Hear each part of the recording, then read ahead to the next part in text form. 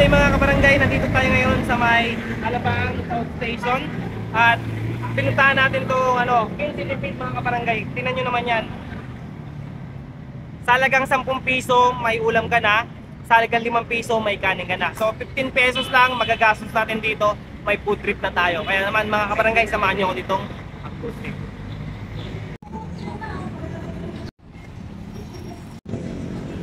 Mga barangay, oh, meron din tayo mga kasamahan dito kumain. Oh. Ayan, oh, dito nagtatrabaho. So, sir, magkano yung na-order mo, sir? Nasa halaga magkano yan? 55 pesos. Si sir din, ayun, na-order na siya, sir. Nasa magkano naman yung in-order mo, sir? 45 pesos. Panalo na, no? Panalo, panalo yan sa mga nagtitipate mga barangay.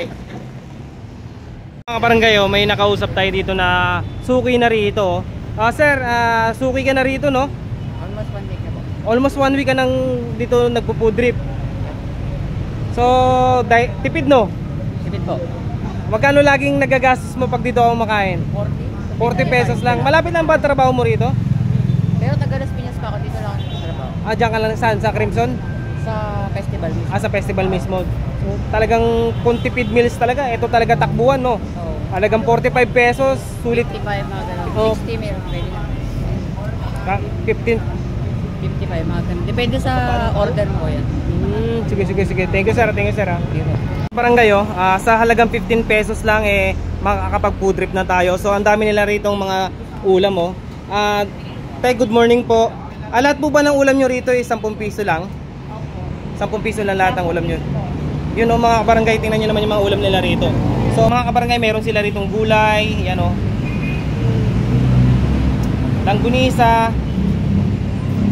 Mga barangay. So, ham at saka bacon. Ano tawag dito? Meatballs po. Yan o, may meatballs din mga barangay. Tapos ito is imbutido, hotdog, at saka Longgadog. Chicken prawns. Ay! ito. Napakabaliktad siya. Putlong. Camera. dito muna. Yung camera. tender crispy po chicken tsaka yung. Tapos ito, Ah, ano yung po? ayun o, adobo. Meron din silang Bicol Express. Tsaka minuto. Minuto. So lahat po yan eh 10 piso lang po. Yes po. Maliban po dito, sir. Maliban po dyan sa mga nan. Magkano naman po yung mga ganyan? Po. 15 pesos lang. Yun ang mga barangay. Panalo pa rin, 'di ba mga barangay? Pero yung 15 pesos lang yun mga mga kabarangay. Pagdating sa mga hot dogs, yan mga yan is 10 pesos.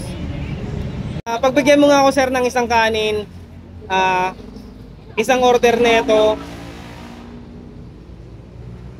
Mga barangay, 5 piso lang yung kanin dito mga barangay.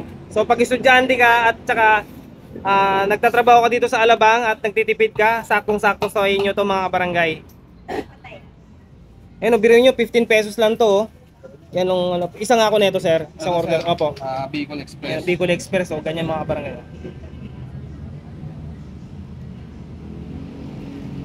Yun, oh.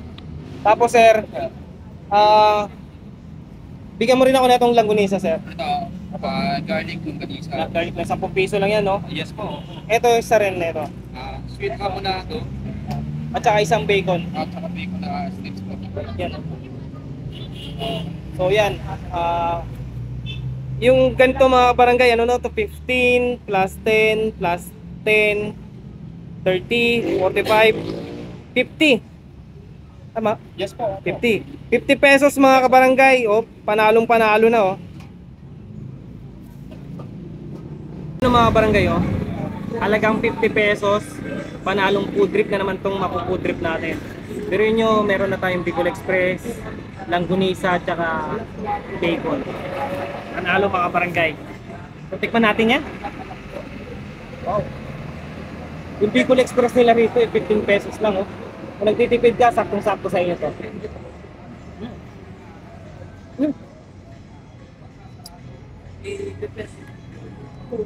Panalo yung Bicol Express nila rito mga barangay, hindi tinipid sa gata.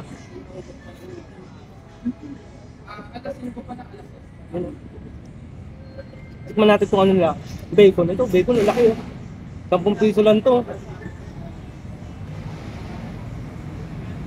Mm. Sarap.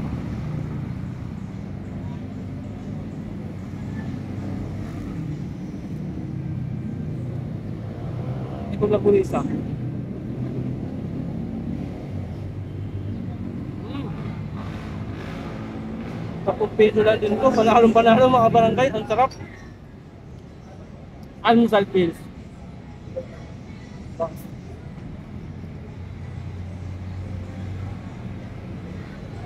Mm. Init. Panalo mga barangay. Panalo panalo po dito. Yun o. Yun o. Kaya mga kabarangay, pag napadayo kayo dito sa may Alabang South Station, katabi lang siya ng Festival Mall.